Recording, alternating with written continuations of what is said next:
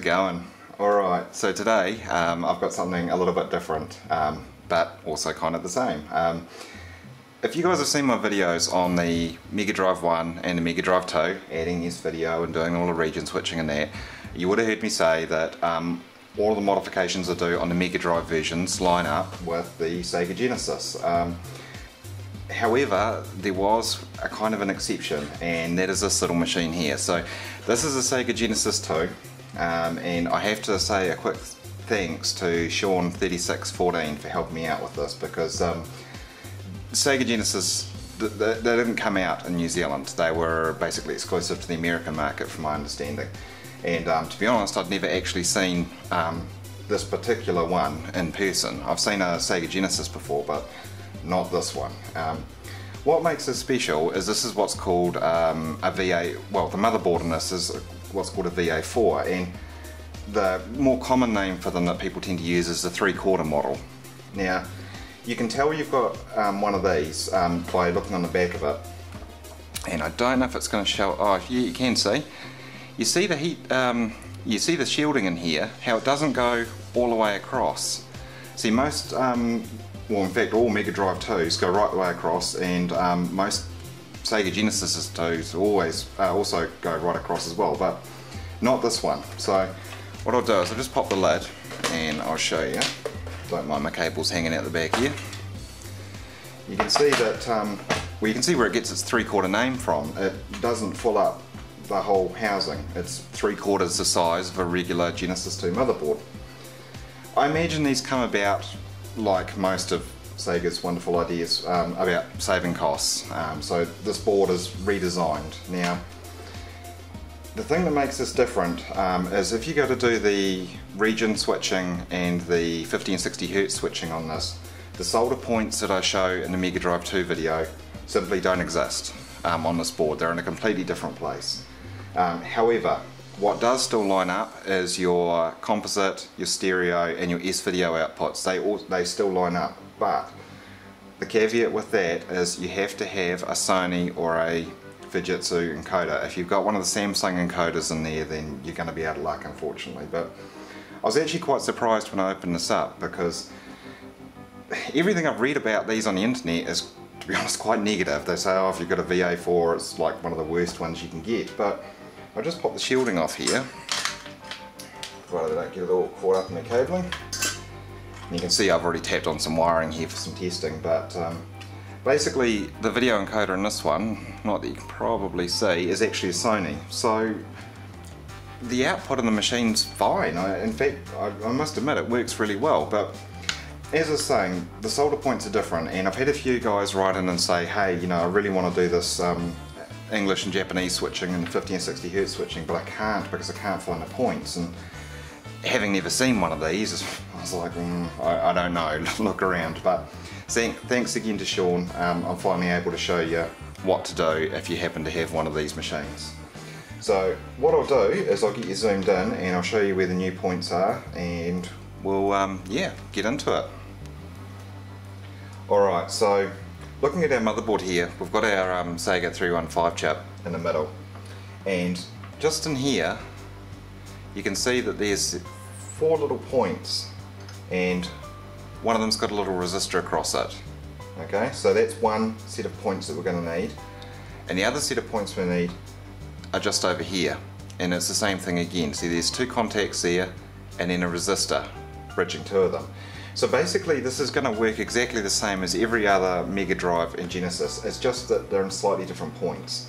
And this little resistor is basically what's called a zero ohm resistor, so it has no resistance at all. All it is is just a link. So the first thing we need to do is actually remove this link and that way it's going to expose all four points and we just attach some wiring in its place and we can do our switching from there and we repeat the same up over here. So this one down here, which has got R34 written next to it, is a bit of a reference. This controls your 50 and 60 Hertz switching. And this one up here, with R32, that's going to control your English and Japanese switching. So um, we'll get this resistor removed and we'll get some wiring tapped on. Alright, so as I was saying, first thing I'm going to do is I'm going to get rid of these zero ohm resistors. So what I'm going to do with that is I'm basically going to add a little bit of solder either side and um, these unfortunately aren't too easy to work with because they're surface mounted resistors so they're a little bit fiddly but on the positive side because you're um, removing it it doesn't really matter if you damage it. Um, but what you don't want to do is um, damage the track underneath because we still need to use that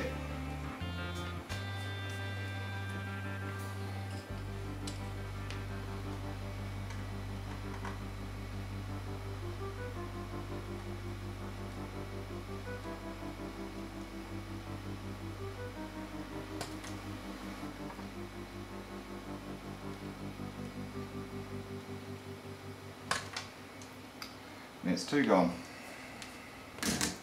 So nice and easy. There we go. You can see how tiny they are. Okay. So what that does leave us with now, we can come a little bit closer, is our four points. And basically what happens here is you can actually um, see with you can see with your eyes what happens, but you'll see one track leads off to the Sega 315 chip and the rest goes off, one goes off to um, 5 volts and the other one goes off to ground.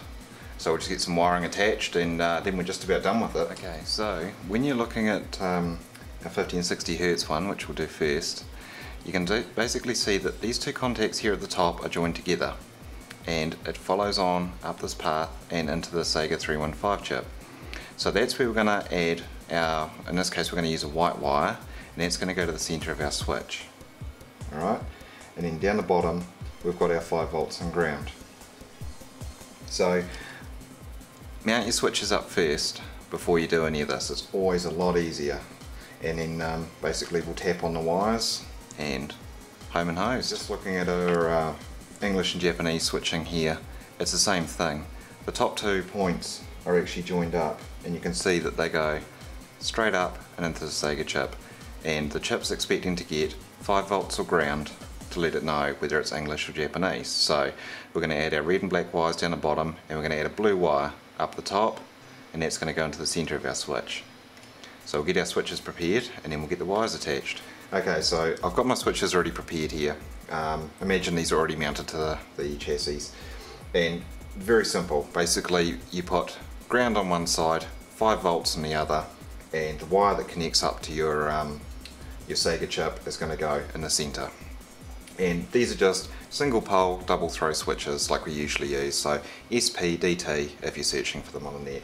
And as I said, um, I'm going to use the blue wire, that's going to be for our language switch, and the white wire is going to be a 50 or 60 Hz switching. Okay, time to get them attached to the board.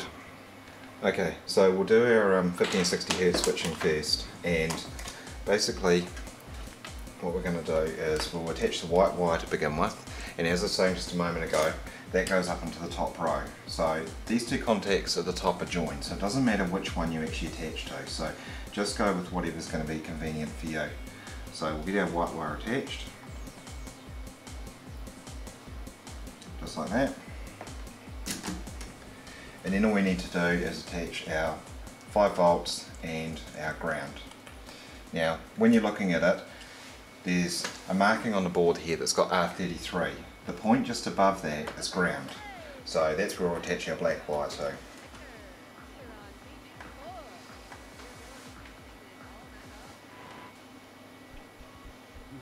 Okay, so it's that attached. And of course the one next to it, which has got R34 written next to it, that's where our 5 volts comes from.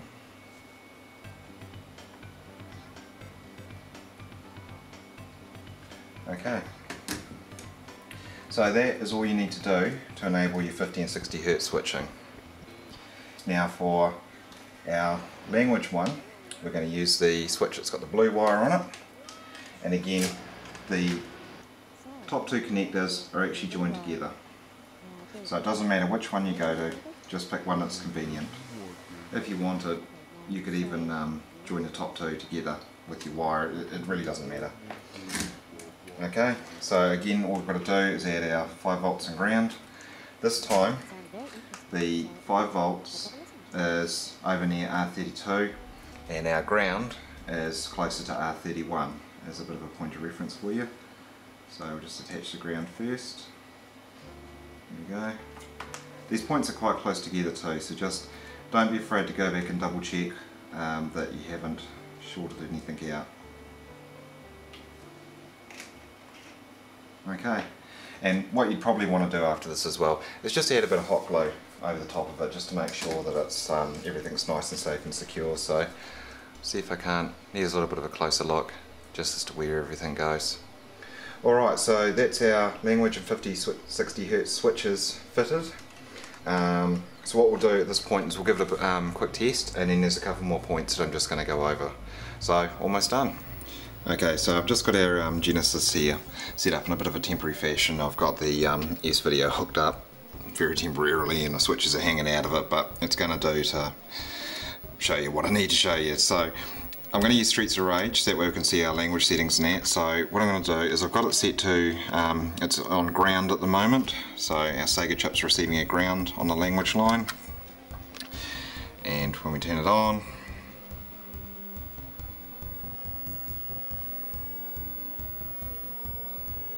our language is going to start flying up here and you'll see it's all in Japanese so when it gets ground it's Japanese so I'll turn the machine off. We'll flick our switch over. So it's now getting 5 volts and it should come up in English again.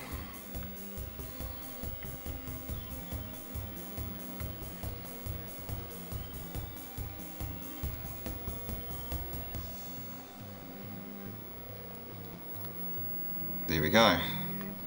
So that's proof that our language switch works. So next up is the 50 and 60 Hz switching.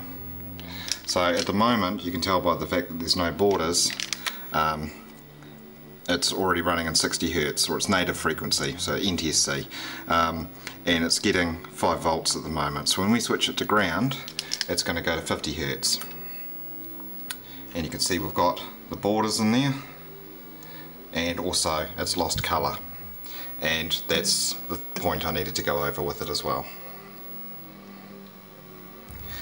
Okay, so for 50 hertz in this machine, um, pretty much if you're going to be, if you happen to live in a European country where you've got RGB, then this mod is all you're going to need to do. When you switch between 50 and 60 hertz, it doesn't matter because PAL and NTSC don't exist in the RGB world, so you're going to have colour either way. If um, you like the rest of us though and you need 50 Hz to be in colour, this is when you're going to need to do the mod that I showed on the Mega Drive 2. Now, um, because this is a Genesis, you're going to need the 4.433 megahertz um, 4 pin oscillator in order to do it. And basically if you follow that Mega Drive 2 video, um, it's more or less going to line up with a couple of quick exceptions. Um, one is obviously you need to use a different um, oscillator. Now I have had a few guys get in touch with me and say well where can I get one from? Um, the 4.433 megahertz oscillators are very difficult to find. Um, I have found a company in Australia that sells them. Um, they're called Wagner and um, they have a website that you can go and have a look at and the part number is I think it's QXO-1100 um, so if you do a search for Wagner, which is W-A-G-N-E-R, um, maybe put Australia, and then QXO-1100, hopefully you'll find your way to the site. Now, um, I didn't get one because, to be honest, um, this Genesis is going to go on my shelf as a collector's piece. Um, I'm really excited to have one, but in all honesty, I got it just so I could show you guys where these new solder points are. So there wasn't really the need for me to do it. But um, if you need them and you're having trouble, let me know and I'll try and find a way to, to help you out with them.